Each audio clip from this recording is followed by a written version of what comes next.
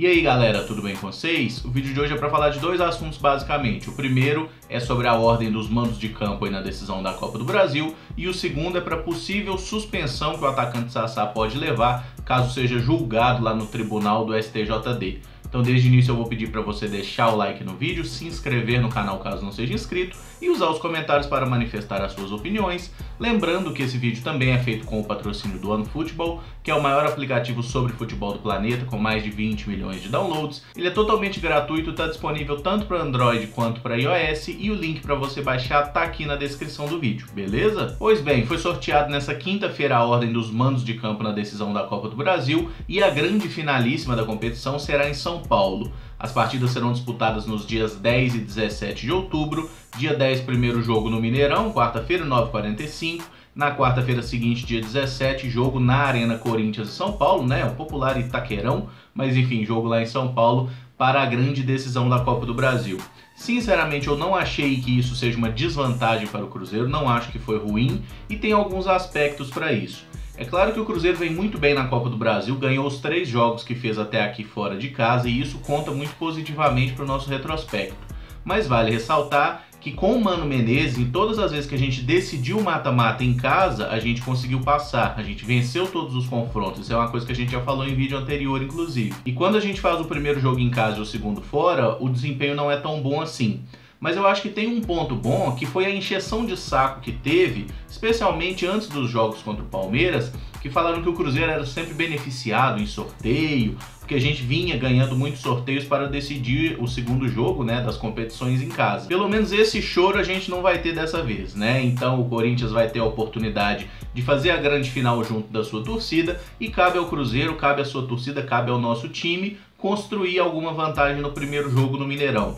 A gente sabe que o Cruzeiro está devendo vitórias junto à sua torcida, a gente está precisando ganhar esses jogos. Tomara que venha na próxima quinta da Libertadores, né? Mas em todos os casos o Cruzeiro tem capacidade, tem qualidade técnica para sim fazer um bom jogo no Mineirão, de preferência vencer e já construir uma vantagem. E lá em São Paulo eu tenho certeza que o Cruzeiro vai fazer um jogo muito sério, muito certo lá. O Cruzeiro é um time que sabe se portar bem na maioria dos jogos fora de casa e estou muito confiante que o Cruzeiro pode conquistar esse hexacampeonato sim. Tecnicamente o elenco do Cruzeiro é melhor que o do Corinthians, mas o do Flamengo também era e mesmo assim o Corinthians passou. Então a gente tem que lembrar que a qualidade técnica, força de elenco, tudo isso fica no papel. Dentro de campo é 11 contra 11. Quem for mais competente nos dois jogos vai conseguir o título. E eu acredito muito no nosso time, acho que a gente tem qualidade para isso. E esse título virá coroar uma temporada que pode não ser brilhante tecnicamente, mas se a gente consegue pelo menos um grande título essa temporada, vai coroar um planejamento que foi feito e querendo ou não, a gente pode gostar ou não gostar, mas que o Cruzeiro se planejou para chegar nas fases decisivas e se planejou para ser campeão, isso é fato. O Cruzeiro está fazendo um trabalho dentro de um planejamento que vem desde o final da temporada passada. E o outro assunto do vídeo é que o atacante Sassá pode ficar suspenso por até 12 partidas. O jogador deu aquela porrada no Mike, todo mundo viu, ninguém tem muita dúvida sobre isso. E caso ele seja julgado, né, considerado culpado e pegue a pena máxima, são 12 partidas aí que o jogador fica fora. Lembrando, se ele for julgado culpado nessa situação, que provavelmente vai acontecer, essa pena pode ir de 4 a 12 partidas. Então tem a mesma possibilidade dele pegar 4 jogos ou 12.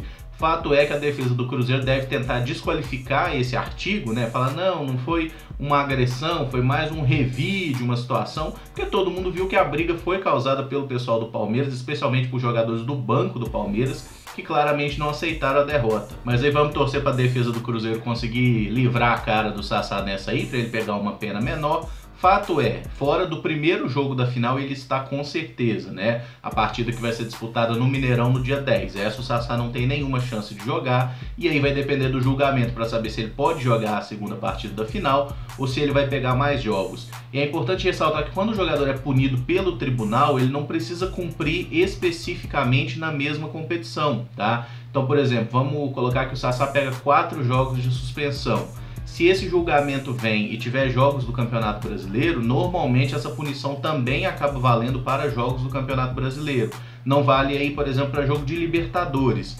Porque é a CBF que organiza tanto Copa do Brasil quanto Brasileirão. Então, no, no caso dessas duas competições, ele pode cumprir a suspensão delas. Como a Libertadores é organizada pela Comebol, aí já é algo totalmente diferente. Mas de momento é tudo especulativo mesmo, vamos aguardar e torcer para que não haja uma grande punição, porque o Sassá é um jogador que ficou muito tempo parado por lesão e voltou bem, fez gol contra o Santos, entrou bem no jogo ontem. Vamos torcer para tê-lo disponível aí nos próximos jogos. Mas esse vídeo fica por aqui. Se gostou, deixa o like, se inscreve no canal caso não seja inscrito e usa os comentários para deixar você também a sua opinião, beleza? Muito obrigado por acompanhar, um abraço e até o próximo vídeo. Valeu!